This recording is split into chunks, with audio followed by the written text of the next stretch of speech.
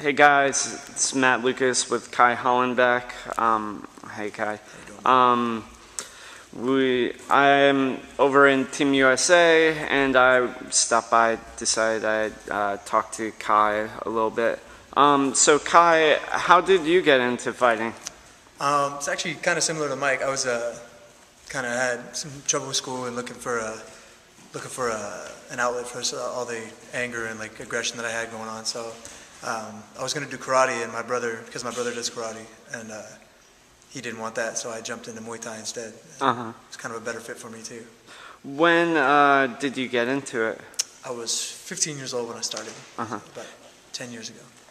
Did you have any other athletic background?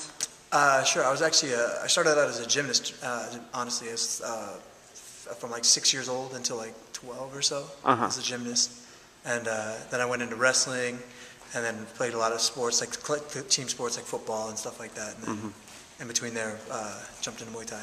Yeah.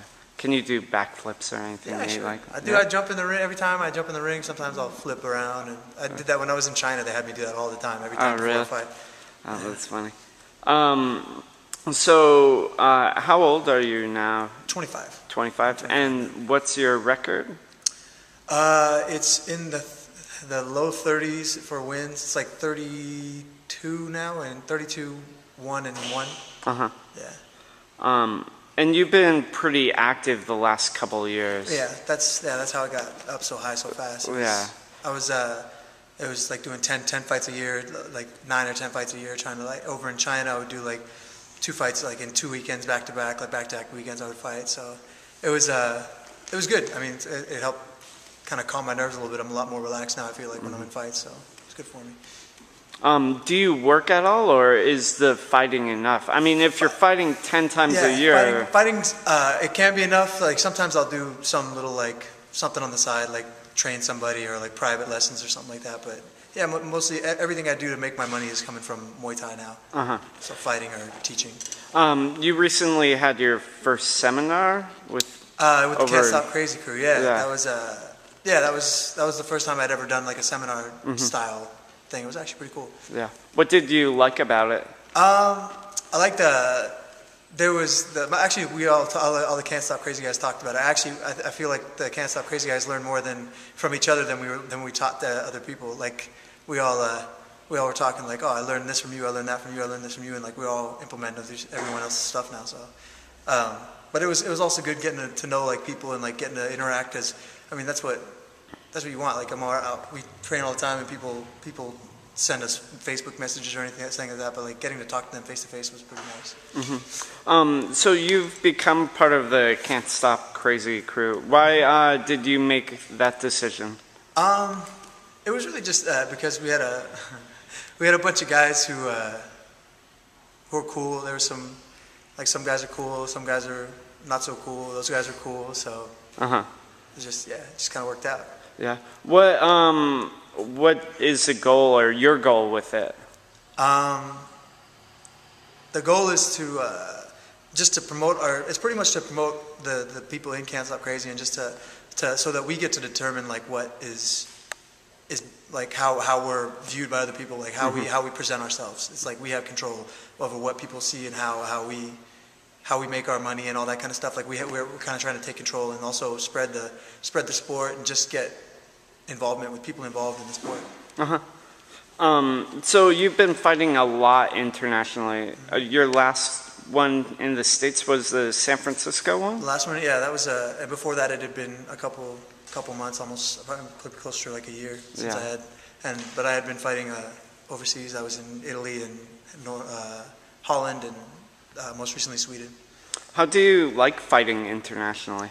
It's honestly the uh, you can tell the difference between the, the level of uh, understanding in the crowd. Like there's a lot more people that understand like what's happening, and there's it's a it's a it, the the the promotions like they treat the they treat fighters a lot differently out there. They're a lot more.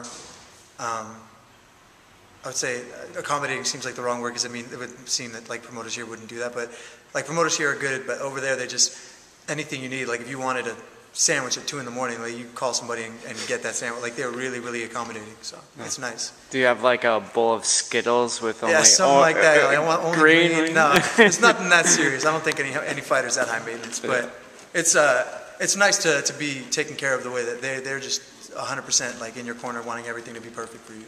Awesome. Um, so you've signed on for Glory. What does that entail? So the Glory tournament is a 16-man tournament at 154 pounds. It's K1 style. Um, the K1 rules no, so the clench and then no elbows, and then clenching for only a couple seconds. Um, it's uh, honestly it's some of the best in the world. It's got uh, Giorgio Petrosyan at that weight. Uh, Albert Kraus is in it. Um, a ton of other guys, and uh, I mean I could mention them all, and they all have like prestigious like accolades. So.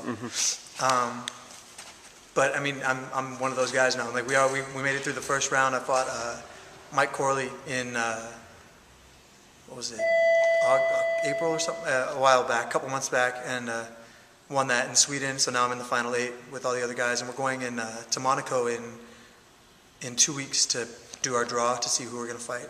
So, That's exciting. Yeah. What is there a big prize at the end as well? yeah. So the the grand prize is three hundred thousand. So Uh-huh. the winner gets. So this in uh, November third we'll have our fight. So it'll be eight. All the eight fights will fight. So there'll be four fights, and then the winners of those four fights will fight each other, Mm-hmm. and then the winners of those two fights will fight each other, and the winner of that will take home the three hundred thousand. And that's all going to be on one night on April third, or uh, sorry, November third in uh, Rome, Oh, Italy.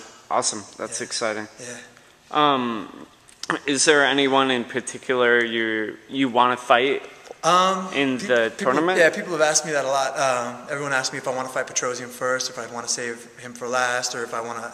I mean, how how? I mean, th- to be honest, every single one of those fighters Yeah. is a dangerous fighter. Yeah, I mean Kraus is Kraus getting is a a- little older, he's but older, he's but he's still, still- dangerous. Every, I mean, every one of those fighters. There's a, uh, even like even some of the uh, the the less the less known guys. Like uh, there's a fighter uh, from the UK. I'm, it's, I can't. I'm struggling with his name, Tim or Tom or something. Like that. He's a he's he's not as well known as some of the other guys. But I mean, same as me. Like I'm not as well known as some of the other guys. But mm-hmm. just because you're not well known doesn't mean that these guys aren't at the same exact level that any of these other guys are at. So everybody's, no matter who you go against, it's going to be tough. I think I would like to fight someone someone with the name just to just because I, I when am I ever going to get a chance to fight him again? You know, I might never Yeah. get that chance again. So someone like Petrosyan or, or Albert Kraus, someone that would, someone that I know will give me a tough fight. That's what I want.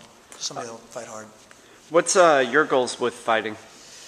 It's just to, um, honestly, just to see how far I can push myself, and uh, if I can, if I can make a living doing it, I would love to do that. Um, it seems like it, it's going to be harder and harder now. The more that I, the more that I think about like how I'm going to make enough money to, to, to, to have a house and have a family and all that stuff. So, but I mean, the goal is to just take it as far as I can for now, and and hopefully make it a staple in my life. Yeah. Uh, what's the hardest thing about fighting for you?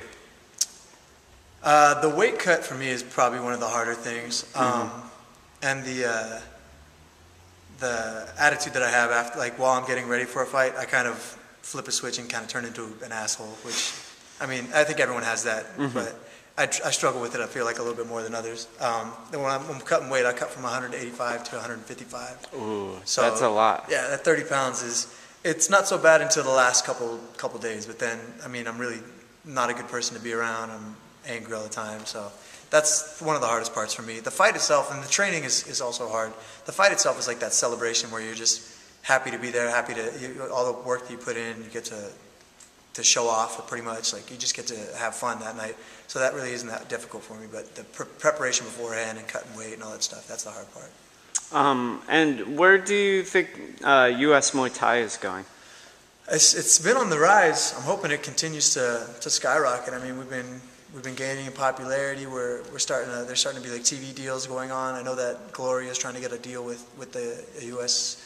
Um, network, and there the there was that Muay Thai team in America that I, I Um, recently heard that there's a that that might be getting started up again. Oh, they got really? picked up by a, a network, according to what I heard. So, I mean, it'd be it'd be nice to see that uh, to see that progression, to see it start to get on the same level as the, the UFC out here. I mean, overseas, I would say Muay Thai is probably more even more popular than the UFC is out there. But Uh, but in the in the U.S. where we are, it's not. It would be nice to be recognized. You know what I mean? Yeah. Have, have the sport be legitimized here.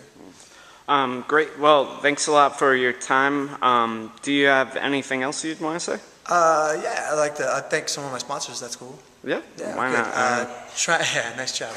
Uh, Triumph United, Osiris Shoes, um, uh, Savage Inc., uh, Ryu uh, uh, Sportswear, RYU, Respect Universe, um, all those guys. Uh, yeah, uh, I'm trying to think of if I'm forgetting anybody. Uh, Nazuki Uh-huh. uh, Fightwear, and yeah, that's about it. cool. Well, thanks a lot, Ky.